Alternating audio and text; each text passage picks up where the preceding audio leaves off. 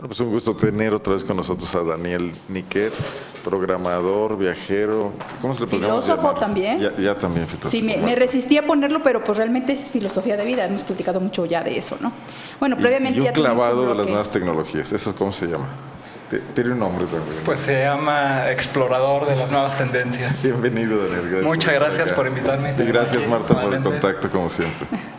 Pues es que nos faltó mucho la vez pasada para platicar y bueno, Siempre pues Muchos temas. cosas, ¿no? Sí, hay siempre muchos se temas. quedan cosas, hay muchos temas y bueno, a mí me encanta pues eh, contar historias, ¿no? Y lo- a lo que yo vengo el día de hoy es a contar una historia. Antes de que empieces tu historia, recuérdale a la gente que nos ve cómo pueden seguir tus otras historias, en dónde te encuentran tus videos. tu- tu- Con, con mucho gusto. Pueden seguir mis videos. Hago un blog cada día de lunes a viernes. Y bueno, ahora ya hice uno mientras estábamos empezando el Videoblog. programa. Videoblog. Videoblog. Y bueno, es muy fácil. Es mi nombre que está ahí. Bueno, por ahí apareció y va a aparecer. Se llama danielniquet.com diagonal blog con V porque es de video. Muy bien. Entonces, ahí es donde en- pueden en seguir. YouTube también como Dan- Daniel Niquet. En YouTube como Daniel Niquet. En Facebook como Daniel Niquet. Bueno, con tu canal, sí. con ese nombre, tu canal. Sí. Ahora sí vamos a la historia de hoy. Sí, pues bueno, la historia de hoy es una historia que nos debería preocupar a todos, que a veces lo obviamos, pero no ponemos muchas manos a la obra, que es el lenguaje. Y la historia es cómo aprender un segundo idioma ha cambiado mi vida. Entonces, Déjame yo más decirte que Sí. siempre te lo dicen, ¿no? siempre te hay lo que hablar sí, inglés, claro. ahora te dicen hay que hablar chino, de repente. Japonés, aquí en Guanajuato, ¿no? El en enfoque. Pero como que uno dice, bueno, pues ahí me meto un Luego. curso, no acabo, Luego. lo dejo a medias, medio entiendo, medio leo al Me 50%. defiendo. Pero tú sí dominas completamente. Eh, no que lo domine completamente, pero vamos, siempre hay un punto que puedes mejorar. ¿no? El inglés. El inglés, el inglés, que ha sido el lenguaje que ha, que ha cambiado mi vida realmente, ¿no? Y bueno, estamos, como decías, en un país, en México, en donde no estamos, vamos, el índice de, de inglés como segundo idioma no es tan alto, ¿no? La mayoría de la gente creo que está en un nivel bastante bajo A ver, inglés. pese a que nos echamos en la secundaria varias, muchos Años y años. años en la prepa, y tú ves como que los sistemas pedagógicos no te hacen avanzar. Terribles. Te hacen odiar el, el Sí, sí, estudio sí. del idioma. Sí, claro, aplicas la ley del mínimo esfuerzo, lo mínimo que puedas hacer para pasar la materia, ¿no? En mi caso yo lo tenía desde el kinder, primaria, secundaria, universidad, hasta maestría. Tú eras niño bien, man. Vamos a decir que en kinder me tocó el inglés, en primaria me tocó tres años y luego ya no fui niño bien y entonces tres años sin inglés. y en secundaria creo que sí, ¿no? Sí nos dan, en, en Sí, las, sí en las públicas sí es, es básico, no, sí. pero no, de todo No, no en aprendes todas. nada. Ni en, la, sec- ni en la prepa. Es como obligatorio el programa. Sí, pero, ¿dónde das el salto y dónde ya empiezas a dominar? ¿O en qué momento se te, te cambia ¿Ves la necesidad también? Sí, mira, la necesidad la veo desde la universidad. Cuando yo entro me doy cuenta que hay una opción de titulación por promedio. Entonces yo decido saltarme la tesis y todo eso como que, bueno, que la gente batalla y que realmente pues el índice de, de no titulación por esta razón es muy alto, ¿no? Se quedan como pasantes nada Se, se quedan como pasantes. Entonces yo dije, no, voy a hacer titulación por promedio. Y cinco años después estaba listo para titularme por promedio, cuando la sorpresa, ¿no? De que hay más requisitos y uno era el TOEFL, Mm. el examen que te avala como persona que puedes dominar el inglés.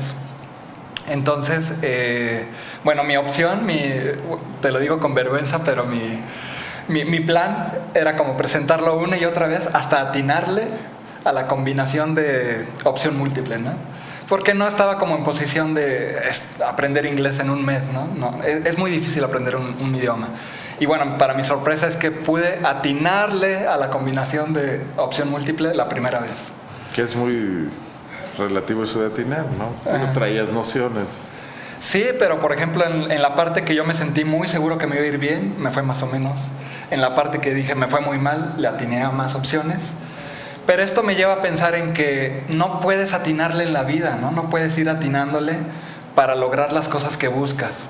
Entonces, en un trabajo que realmente te piden inglés como un requisito, no puedes atinarle, no puedes engañar al entrevistador, ¿no? Jugarle a, sí, Claro, a entonces, la bueno, coincidencia. Yo conseguí un, un trabajo en gobierno del Estado, en el área de informática, en, el área de criptografía para firma electrónica. Y, pero no tenía mucho que ver en inglés, no era el requisito inicial. Entonces, bueno, pude entrar y después ya ir subiendo como de, de niveles, ¿no? Pero sí era como esa necesidad de que, wow, el inglés lo necesito y no lo tengo. Tengo una carrera que está basada 100% en el inglés y no, no puedo estar Programador de vida, ¿no? computación.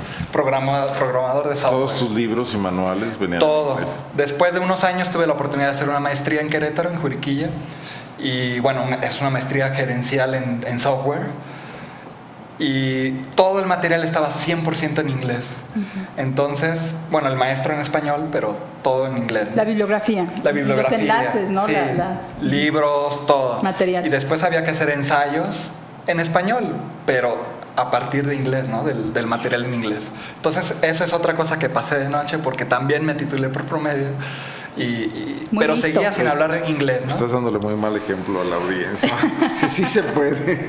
No, bueno, pero es que es una persona que ha leído mucho y que ha acumulado conocimientos desde hace muchos. Es muy inteligente, aparte de, de que Sí, lo que te quiero decir aquí es como no ir a atinarle a la vida, ¿no? No puedes ir atinándole porque llega un momento en que sí tienes que atravesarte con la necesidad y tienes que ir a hacerlo, ¿no?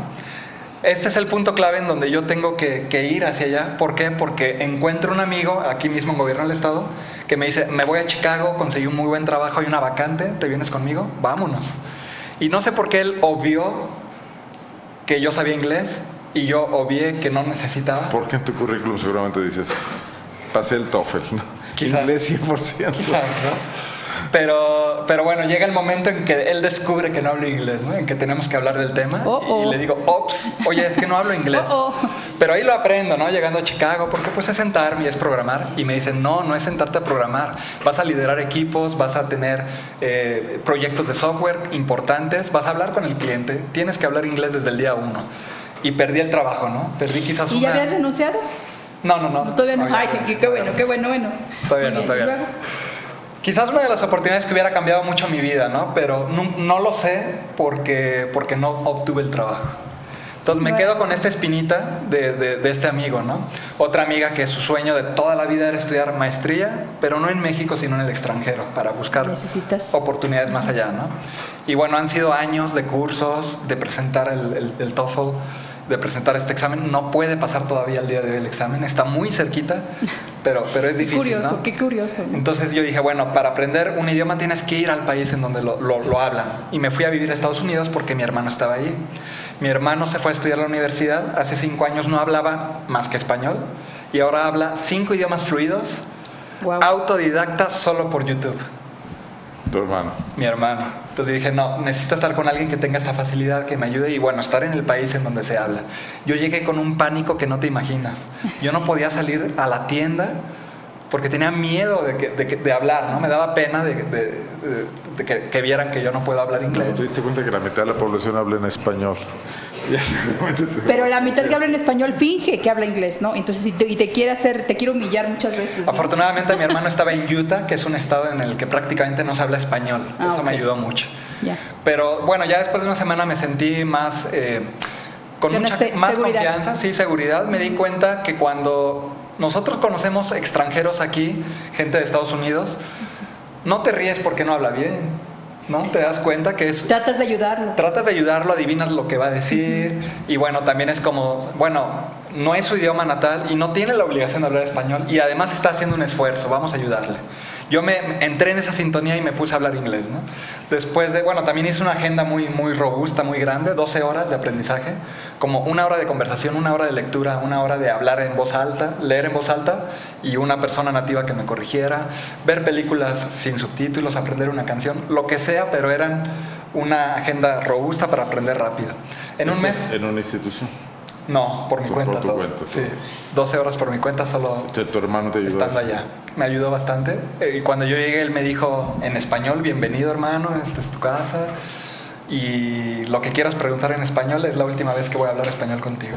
No, pues así se aprendes. Y al así día, se aprende. al día de hoy hablamos en inglés, no escribimos en inglés porque él sigue allá, está en Boston ahora. Y bueno, este, este caso de, de- de llegar a Estados Unidos... ¿Cuántos años tenías cuando eso pasó? Bueno, te hablo de hace cuatro años. Hace cuatro años yo no hablaba gota de inglés, ¿no? No hablaba ni una sola palabra. Y entonces, Ok, pero aún, aún así cuando fuiste a Silicon Valley, este, ¿era champurrado el español o, o cómo lo hiciste ahí?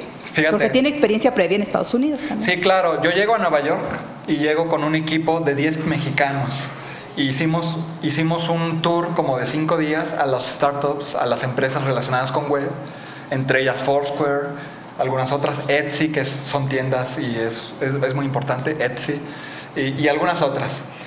Hablamos con los creadores, del, del- con los fundadores de las compañías. Nos dijeron todos los secretos, cómo iniciaron, cómo consiguieron funding, cómo se mantuvieron, cómo consiguieron clientes, cómo eh, ¿Cómo lo consiguieron seg- todo, ¿no? Tú no entendiste En nada. inglés, no entendí una sola palabra. Y, todos los nueve, los otros nueve interactuando con ellos. Oh, de verdad, wow. Algunas cosas las pude grabar, otras no me dejaron. Y, bueno, es realmente frustrante, ¿no? Seis meses después, ya después de esta agenda robusta, que yo me sentía ya eh, bastante seguro de poder hablar, interactuar, voy para Silicon Valley, empiezo como a colaborar, no realmente trabajar, pero colaboraciones pequeñas de una semana en los cuarteles de Google, en PayPal, en eBay. Y entonces ya eh, es como, era como mi sueño cumplido, ¿no? Yo no me fui a Estados Unidos para cumplir un sueño, yo me fui para aprender inglés. Yo había olvidado totalmente ir a Google, ir, ir a, a- a Silicon Valley, al área de California. Pero una vez que aprendo inglés, las cosas se dan solas y llego a- Te- te- ahí, ¿no? Déjame decirte rápidamente que tenemos interactuación en el chat eh, a través de YouTube, David, Perfecto. y que hay quien nos dice que Marcus B, B alta, B chica, dice, yo aprendí inglés en la secu, así que no digan que no se aprende nada de inglés en el nivel básico. Bueno, no, habrá, habrá gente que sí tiene Sí, muy no, buenos yo maestros. compañeros que, o que ellos por su cuenta se aplican. Sí, sí, Pero sí. que el sistema en general no te saca un och- 60% de muchachos No, no, yo, hablando inglés. no, bien, yo estoy atentada a decir que el 90%. ¿no? Es, es bien importante dos cosas. Uno, el sistema educativo. Dos, la persona. Sí, si tú sí. quieres aprender, aprendes lo que quieras. Sí. Pero si no quieres aprender, por mejor sistema educativo que tengamos, Eso. no vas a aprender. Tienes que tener Bueno, la, la- yo diferiría un deseo. poco. Hay sistemas que te... Tenemos un problema en matemáticas, tenemos un problema en español. Y, y no todos los mexicanos estamos negados, ni somos enemigos de las matemáticas no- ni del español. Pero como que los sistemas no han sabido hacer el clic para atraer a la gente que, que, bueno, yo diría hay gente que tiene atracción por las matemáticas que se la hacen que la pierda, que hacen que la pierda, ¿no? Que a veces luchas contra el sistema cuando deberías ir junto con junto el con él. Sí, pues te hablo Sí que yo, falta. yo resistiéndome al sistema, pues desde el kinder, 4 o 5 años, hasta mis 31 no aprendí inglés, ¿no? Y en un mes en Estados Unidos con una firme convicción de aprender, lo aprendí. Entonces, mientras te propongas las cosas, las hagas, pues puedes avanzar. Y bueno, también utilizar las herramientas que tengamos a la mano, como es el sistema educativo. ¿no? Por ejemplo, mira, casi nadie sabe gramática española. En español. Así las reglas estrictas del idioma, pero la gente habla español y se hace entender en español. Es muy bueno aprender gramática, más si alguien quiere ser escritor, periodista, etcétera, y y el idioma es su herramienta. Pero de que hablamos español hablamos. Y cuando en el inglés empiezan con la gramática es cuando te mata. En lugar de empezar No, con el tema de la conversación y que la gente se haga entender y entienda, y luego empezar a revisar. No sé, no soy experto tampoco en la enseñanza de idiomas, pero sí creo que, que ahí podría haber un cambio, ¿no? ¿Sabes qué pasa Como mucho? eso que tú hiciste, empezaste hablando, ¿no? comunicando. Es- eso es lo que pasa, que nos devaluamos, nos autodevaluamos, nos sentimos menos, llegas con personas. Yo, después de seis meses, llego a Nueva York otra vez, cuando no entendía nada, seis meses después, fui a un concurso de programación, un maratón de estos Ah, sí, sí, sí, hackatones sí, de me acuerdo. programación. Y bueno, había premios como para la mejor idea, mejor concepto, mejor diseño, mejor varias cosas, y mejor overall, ¿no? Es como el mejor de todo. Y gano el primer lugar, ¿no? Con mi equipo, que era un colombiano y otro mexicano, que era mi hermano. Y ganamos el primer lugar, ¿no? Yo llego como sintiéndome chiquito, como, no, es que ellos programan mejor que yo, yo soy mexicano, yo no sé tanto como ellos. Y al final los tenía a un lado de mi computadora diciendo como, ¿qué hiciste aquí? ¿Cómo fue? Como preguntándome. ¿no? Yo me sentía como, wow. Eh, eh, no están tan acá, o yo no estoy tan acá como pensaba. Como mexicanos tenemos buen nivel, solamente tenemos que, ir y, hacer las cosas. Hay que decir que la chamba de Daniel Niquet, eh, cuando no está viajando o aprendiendo inglés o haciendo su blog, es la programación, ¿no? Sí, ese- ese es- es una un buenazo, sí, Ese sí. que es un asunto duro, ¿verdad? La programación es una cuestión. Pues es que todo es difícil, pero pues si te gusta y, aquí, por ejemplo, tú viste que para poder progresar en algo que te apasionaba tenías que entrar en el molde que era saber inglés. Claro. ¿no? Entonces Sí. es- eso es, ¿no? Igual a lo mejor si alguien quiere ser este bailarín o ba- baila- bailarín, bailarina, pero no quiere a lo mejor ponerse a dieta, pues, no, o sea, nunca vas a realmente lograr nada. Tienes que sacrificar algo para poder. Que empiece a bailar, seguramente bajará de peso si Ah, baila. también. Oye, déjame decir nada más que Marcus es de Mexicali, es lo que nos dice y nos felicita por el concepto. No sé si por el tuyo o por el de Zona Franca, pero igual le damos mucho las gracias. Gracias a Marcos. Lo tomaremos para los dos. Bueno, y, y esto ha logrado que mejores, por ejemplo, tus percepciones salariales, que amplíes tus horizontes de vida, que Por eso- te enteres de cosas mejor dominando el idioma porque puedes Pues por eso te decía como que cambié la vida, ¿no? Porque tú debes de buscar un motivo el cual te esté, eh, por- el cual te entusiasme para aprender, ¿no? El mío pues era como buscar una parte laboral, pero después cambió porque conociendo a algunas personas en Estados Unidos comencé a viajar mucho en Estados Unidos y yo sabía que, bueno, si toda mi vida había estado en Irapuato y solo por moverme un poquito al país vecino viví tantas cosas tan padres e interesantes, pues entonces más allá había más, ¿no? Entonces mi motivo cambió y entonces yo seguí, seguí muy empeñado con el inglés por la parte de viajar por el mundo. Y al final viajé muchísimo, ¿no? Fueron cuatro años de viaje casi. ¿No te ha dado por, aprender otro idioma? Pues sí, mira, cuando, cuando llegué a Japón la primera vez, pues me apunté unas frases ahí en un acordeón, como para las frases básicas de llegar a preguntar por algo, pedir una comida. Y, y sí, ¿no? Como que empecé, pero después cambié, cada mes cambiaba de país. Entonces después tenía que lidiar con árabe y con francés y con... eh, ¿Cuál ha sido el, pa- el país todo, ¿no? este, de un idioma eh, que no sea inglés que en el que has estado? Exactamente, te ayuda mucho a saber inglés porque siempre encuentras a alguien que, que, que habla inglés, aunque el país no hable inglés. ¿no? Japón es uno de los países que me sorprendió que no hablan nada de inglés, porque yo pensé por la mo- modernidad y por los tratados con los todo. americanos. Claro, y no hablan nada de inglés. El nivel de, yo lo sentí, es lo que yo sentí. La población en que el nivel en, en general es mucho más bajo que en México. En nivel de inglés. En sí. las empresas, quizás. En cuestión de inglés, sí, claro, quizás solo un businessman muy ejecutivo, etcétera. Pero sí es la verdad que te sirve el inglés para bastante. Y en, el, en mi caso particular, yo no pude haber viajado a todos esos lugares, países y años si no hubiera sido por el inglés, porque ahora yo no trabajo en México. Yo vivo en Guanajuato capital porque me encanta, estoy enamorado de la ciudad, pero no, no, no tengo salario ahí, ¿no? Yo trabajo remotamente con gente, me da igual, gente de Japón, de Filipinas, de Alemania, de Argentina, y aunque sean argentinos, ellos no saben dónde estoy, y hablamos en inglés, ¿no? Entonces, el, el hecho de que yo esté escribiendo e interactuando con estos clientes en inglés, me ha dado la oportunidad de viajar por el mundo y de seguir hoy día en un trabajo en donde gano en dólares, no mucho porque mi filosofía de vida es trabaja menos, vive más. Entonces trabajo Pero ganas hasta- más que si fueras un empleado, digamos, del gobierno del Estado de 8 o 10 horas al día. Lo que hablábamos la vez pasada, ¿no? Como Vives más efectivo, estresado. como que las horas sean más efectivo y no horas Más asiento, productividad. ¿no? No horas silla, no ir a calentar la silla para tener un salario en la quincena, sino pues trabajar menos, eh, minimizar y optimizar resultados, ¿no? O que te guste más el trabajo de tal manera que no lo confundas con trabajo.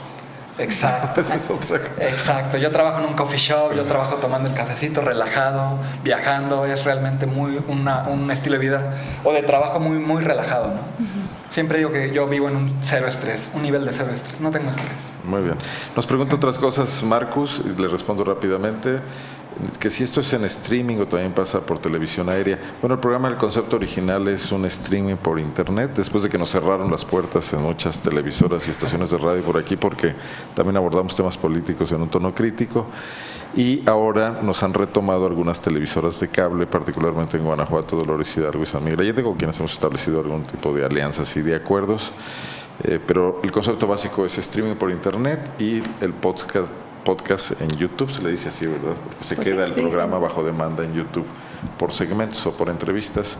Además de estar en Zona Franca TV en YouTube, estamos en la página www.zonafranca.mx. Ahí está pasando también el programa. Bueno, anunciar oficialmente que Daniel se integra con mayor frecuencia a la revista de la UNA para tener un espacio fijo. Todavía no sabemos si unas cada semana o cada 15 días, pero lo iremos platicando para hablar de todas estas cosas, Daniel. Pues muchísimas gracias, lo habíamos Espero que lo tomes hablado como, trabajo y no como, este, no como trabajo, sino como vida. como parte de... Como Como estilo de vida. Y bueno, ¿no vas a grabar algo para tu, para tu podcast? Aprovechando. Porque Ah, tiene pues, un programa. estamos aquí. su la gente podría video. verla eh, más o menos como me veo cuando estoy grabando. Siempre tengo este equipo con este micrófono. Con esto Y- haces tus eh, videos para YouTube. Con esto hago mis videos para YouTube. Tengo esta cámara que puede voltear hacia mí. Puede voltear hacia cualquier lugar. Aquí Está- voltea está- hacia Marta. Está padre el juguetito. Sí, y bueno, voltea hacia, hacia el frente también. Y tiene un anti. eh, ¿Vibrador o de- Bueno, estabilizador? o- Estabilizador. ¿cuántas visitas tienes ya en tu, en tu blog, en tu videoblog y en tus, y en tus videos en YouTube? ¿Cuál es tu, tu récord? Pues van más o menos 50 mil visitas. En YouTube está muy bajo, realmente en Facebook está funcionando mucho mejor, eh, porque en Facebook pasa cada video de las 500, 1000 views. Todavía es muy bajo, estoy empezando, empecé hace tres meses, entonces va subiendo, va Y, subiendo y el nivel. de cuando viajes lo harás también. ¿Sería esto el compromiso? Pues de claro. hecho sigues viajando dentro de México y sigues Sí, haciendo... estoy muy concentrado en viajar en México y estoy cubriendo como los lugares ahí encantados, pueblos mágicos, lugarcitos escondidos, para compartir con la gente y sepan que México está increíble. Es mi país favorito como de veintitantos que, que logré conocer y que seguiré conociendo, pero de los que he visto, México es número uno. De eso platicaremos en los próximos este, segmentos y espacios con Daniel Niquet, a los Sí. que tenemos que buscarle un nombre, ¿no? Sí, vamos Marta, a... Nos te vamos a dejamos la tarea. Así es. Bueno, muchísimas gracias. Qué gusto tenerte aquí como Pues, siempre. muchas gracias. Marta, también gracias. Arnoldo, gracias. Vamos a una pausa. Vamos a hacer una llamada telefónica en un momento más.